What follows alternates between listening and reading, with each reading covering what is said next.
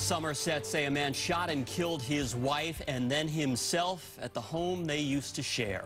Good evening, everyone. I'm Ken MacLeod. A relative of 30-year-old Amber Pereira went to the house on Thelma Avenue just after 8 this morning and found her dead. Nearby was the body of her estranged husband, Joshua, with a gun underneath him. The Bristol DA says Mr. Pereira recently moved out of the house when the couple separated.